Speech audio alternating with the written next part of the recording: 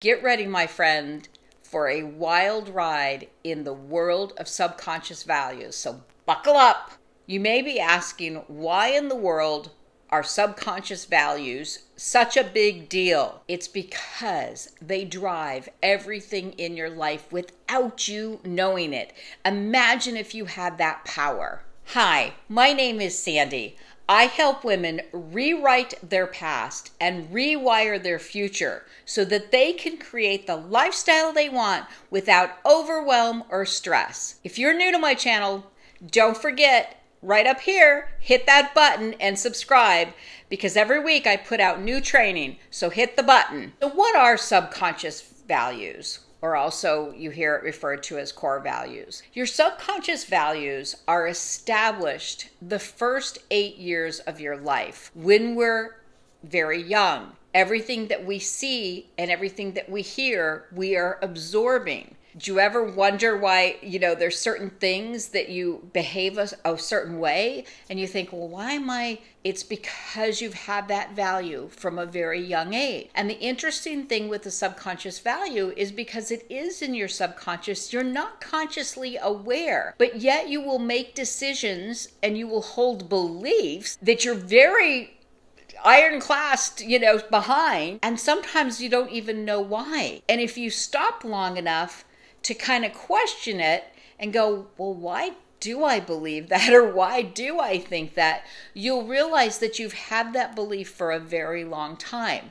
Now, as we go through life, we continue to have more experiences and more, you know, environmental things, influences of people and jobs and media that will affect us. And all of these things play a role into our values. And so, if we don't take the time to stop and understand our subconscious values, then we're never going to be aligned from the inside out. Let me give you an example. I started building my business, and one of the things I did not have in my subconscious values, because I went through an exercise, I do this in my program, um, have my students go through it so that you can identify at a subconscious level what are your values. Anyway, I went ahead and I did this exercise, and I did not have money or wealth or abundance.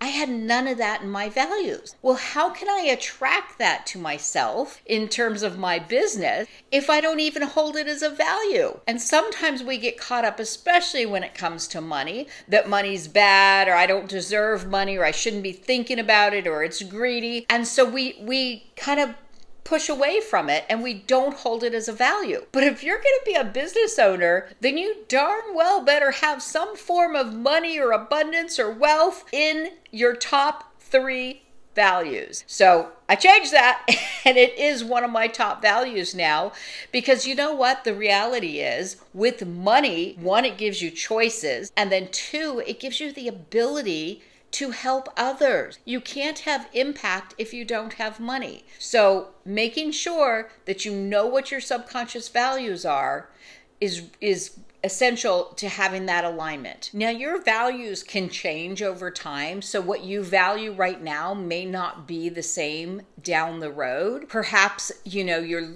looking to have a relationship. So, that might be a high value for you is relationship. Once your relationship is is solid and established that may go down in terms of what your values are.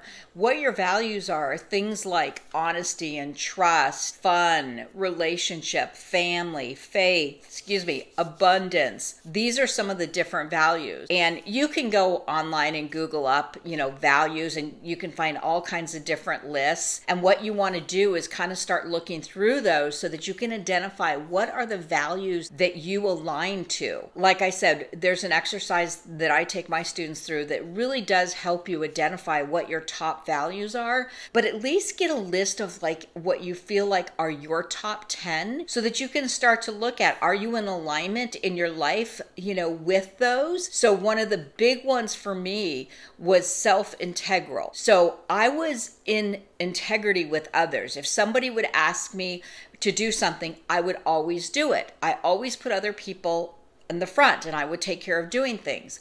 But when it came to me, I would break my promise over and over. So you can imagine when you're building a business and you have things that you need to get done, if you continue to break that promise, well, your business isn't going to grow. And what I realized is I had a little bit of a conflict because on the flip side, I am personality type. There's a really good book, and I forget the name of it, um, but it talks about four different personality types. I'm a rebel because I'm all about freedom. And so that was what was pushing up against this self integral because I felt like if I had to do these things, I lost my freedom.